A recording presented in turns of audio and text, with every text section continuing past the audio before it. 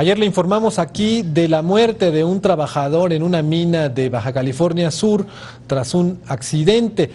Tengo en la línea a mi compañero corresponsal Germán Medrano con la actualización de este caso. Germán, iba a ocurrir una visita de inspección de la Secretaría del Trabajo. ¿Se llevó a cabo la misma?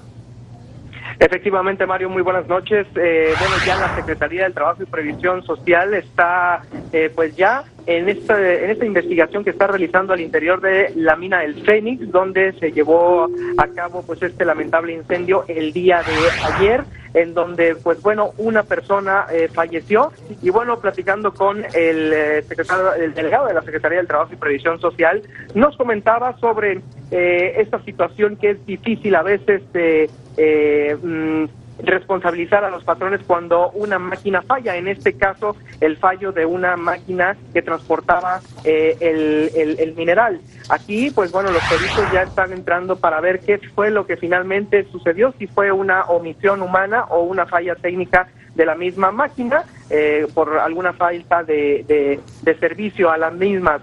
Eh, te comento también que también el día de hoy fueron ya dados de alta la mayoría de todos los, los los, los afectados y el cuerpo de la persona que perdió la vida fue rescatado finalmente porque no pues, se podía acceder el día de ayer, eh, era difícil eh, sacarlo. El día de hoy a las 12 del día fue cuando la Procuraduría General de Justicia del Estado, pues bueno, ya dio el parte del Ministerio Público para que eh, este cuerpo ya fuera trasladado al anfiteatro.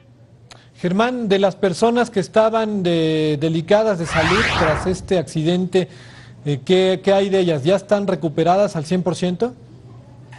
Pues mira, eh, estuvimos eh, justamente en el momento en el que salían estas imágenes que estamos viendo de, de, la mina y está reportando Ernesto Álvarez Gámez, delegado del trabajo, que quedaron clínicamente catalogadas nueve personas que estaban en código verde, dos en color amarillo y dos en color rojo, es decir, que dos eran las que estaban sumamente graves de salud lo cual ahorita, pues bueno, eh, eh, se está en observación de estas eh, dos personas únicamente a las afueras de los hospitales de aquí, de la ciudad de La Paz.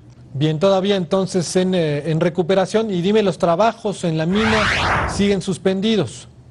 Siguen suspendidos. hubo un comunicado muy temprano de la empresa, del grupo Fertinal de Ropomex, eh, que está, bueno, advirtiendo que va a volver a trabajar esta mina una vez que estén garantizadas ya, eh, pues obviamente las condiciones de seguridad para que los trabajadores vuelvan a entrar a esta mina de eh, entre 5 y 7 metros de profundidad a continuar con los trabajos. Por lo pronto, los, los trabajos de peritaje son los que se están llevando a cabo primeramente antes de que ingresen de nueva cuenta los trabajadores, Mario. Bien, pues te agradezco mucho el reporte, Germán. Vamos a estar a la espera de las conclusiones de los peritos. Gracias, muy buenas noches, Mario. Hasta pronto. Bien, hasta aquí llegamos en Nacional el día de hoy. Soy Mario Carbonel. Gracias por acompañarnos. Lo invito a que continúe la señal de Excelsior Televisión.